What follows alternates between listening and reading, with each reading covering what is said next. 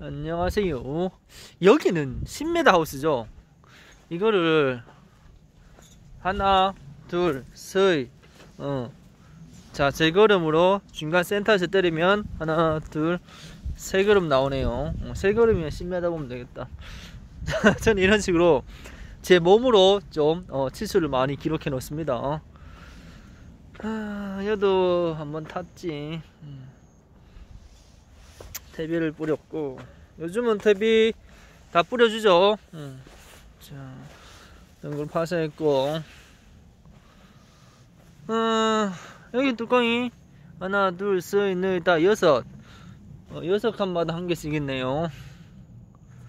음, 자, 어, 이 토양에서 어, 뭐 혼자 하시니까 혼자서 여덟 동 해요. 그러면 한 천에서 한 천오백 하면 잘하는 거예요. 혼자서 한다는 건 힘들어요. 그렇게 쉽지는 않아요. 자, 여기는 참외 맛도 좋습니다. 음, 왜 좋을까? 왜? 어, 토양에 따라 맛이 좀 달라지는 걸 느낍니다. 음. 철근도 굵고 치마도 괜찮고 청채랑 어, 흰가루가 좀의 문제였고 그 부분을 좀 개선을 하시고 항상 올해 농사 짓고 어, 문제가 되었던 부분들을 찾아서 개선을 하세요. 개선해야지 내년에 좀 더 나은 겁니다. 자, 음. 하도 어, 이런 거 많이 봐서 대충 계산이 나와요. 음. 계속 보세요. 봐야지 내 거랑 비교가 됩니다. 자, 다음 주. 네, 다음 주 되면 이제 슬슬 씨가 들어가죠. 음. 그 다음 주 되면 많이 들어갈 거고. 어, 11월, 10월 말에서 11월 초에, 음, 접목을 많이 할 거고. 자, 그러면, 우다다라 또 참외 딴다 할 겁니다. 시간이 잘 가죠.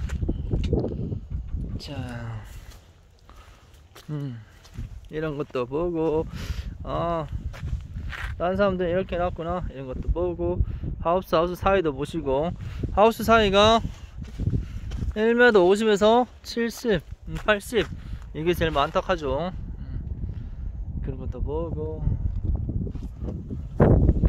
자, 제가 이유 없이 이렇게 막 보여주지는 않아요. 어? 음, 항상 동선도 생각하시고, 어, 동선이 짧아야지 일이 주는 겁니다. 어? 동선이 길어지면 일이 많아요. 어, 그래서 항상 내가 다니는 이 길의 동선을 체크하세요. 그래서 동선을 좀 줄이는 방법도 생각을 하시고, 자, 아, 그게 나쁘진 않아요. 음, 예, 나스. 이거는 점적 세개의 분수가 두 개구나. 자, 남들은 어떻게 해놨는지도 좀 보시고. 자, 음, 음, 한두 가지 문제로 인해서 작황이 흔들리진 않아요. 전체적인 게 계속 누적이 되면서 흔들리는 거니까, 고로, 어, 전체를 계속 보면서 꾸준한 부분을 생각해 보세요. 자, 이상입니다. 참고하세요.